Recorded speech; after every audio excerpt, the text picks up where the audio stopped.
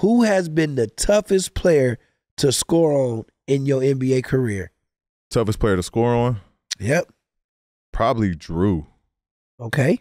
What makes it so tough Probably Jrue. for you to score on Jrue? Just got- like Jrue got locks. like That's it. Jrue got Jrue got locks. Like he got locks. He's strong as shit. He's quick. And like he loves to play defense. Like that is the worst thing.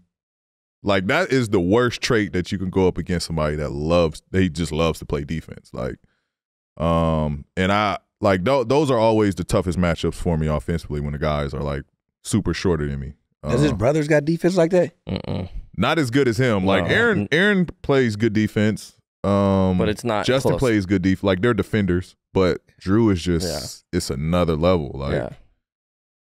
He, He, has, has, anticipation. He that's, has that's the word. instincts. He has uh like he knows your like tendencies. Like He's smart. Like he knows yeah, where he's you're going to put the ball. He's like, a it's- cerebral So he defender. really looking at the uh, player report for sure. knowing Yeah, for sure. He- he does He this, just he knows that. movement. Like he just knows what you want to do and is always at the right place at the right time. Plus, he has all those attributes. How many first team defense he's been on?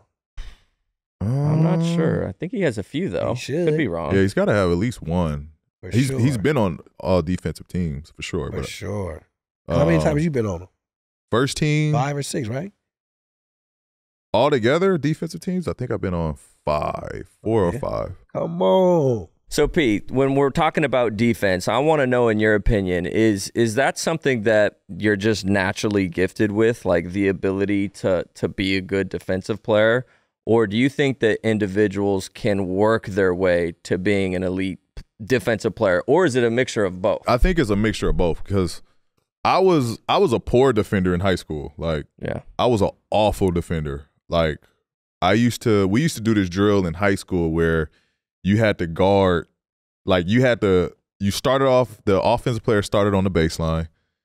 The defender started at the free throw line Okay. and you had to throw the ball to the offensive player and you had to guard him full court. Yep. And I used to be so nervous about this drill because like it used to be one move. Yeah.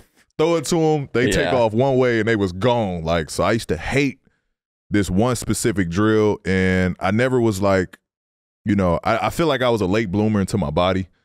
So I didn't really figure out like how to move quite well yet. Um, so I wasn't I wasn't ever a good defender. Like defense was never my strong suit. But what I did have was the effort. Like I used to want just because I love Kobe, I used to want to make it tough for you to score. Like regardless, any any way I could, I'm gonna give extra effort, extra slap down, extra jump. Like I'm gonna try hard as hell to like make it tough for you to score, regardless that I wasn't good at it.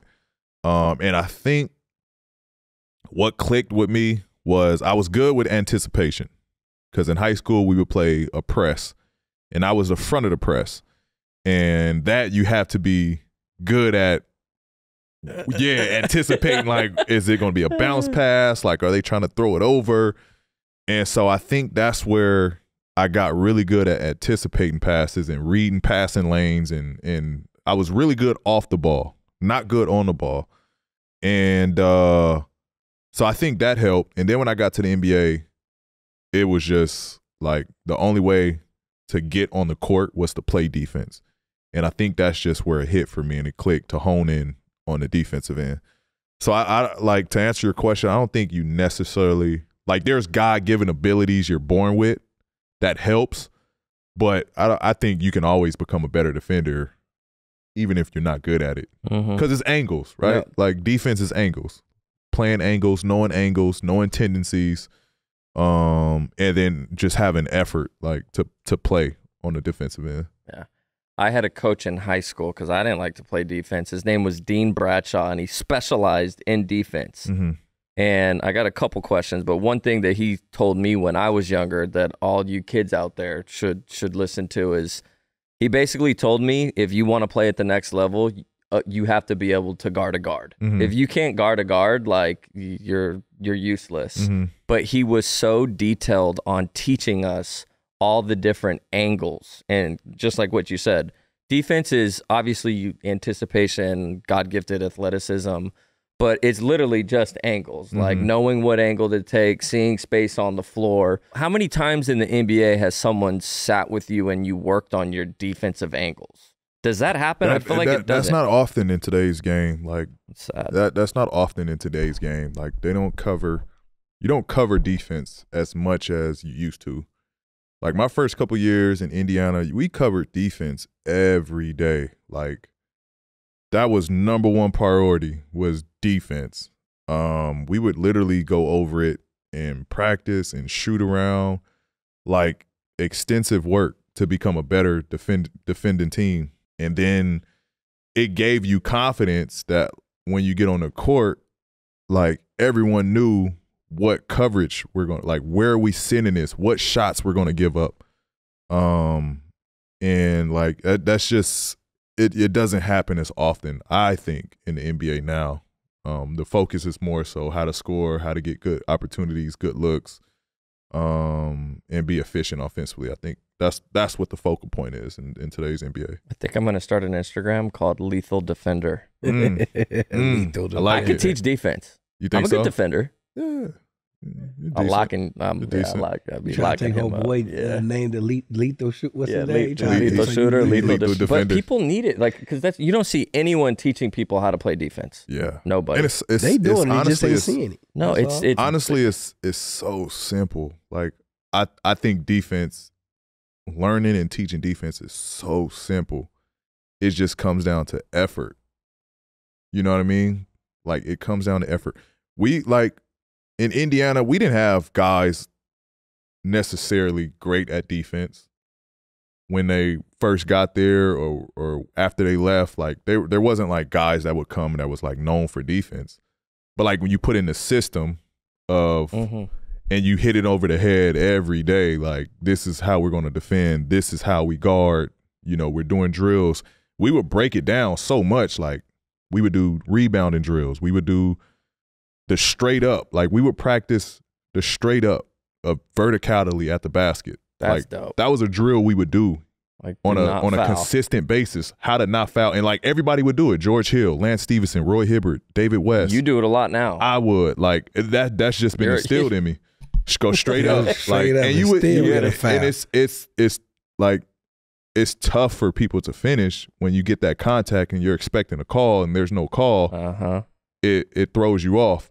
Um, so like it, yeah, it was it was uh, my indie days. Like we were special because we worked on it so much.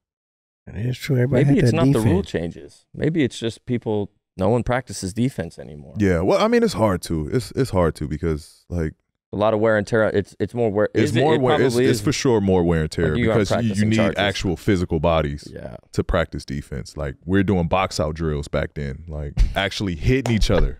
Like no bullshit. We was actually Seeing Lance hitting each coming in other. for a rebound, like ah. yeah, and you you Yeah. you but it built toughness, it built character, it built like if we can do that to each other, can't wait to play the other team. You know what I mean? We can't wait to go against and, and put this physicality on the other team because we were doing it against each other so much. Like we couldn't wait to play other team, and it was easy when we played other teams because we drilled it and we went over it so much, and it was so much tougher in practice because you're doing it constantly over and over and over.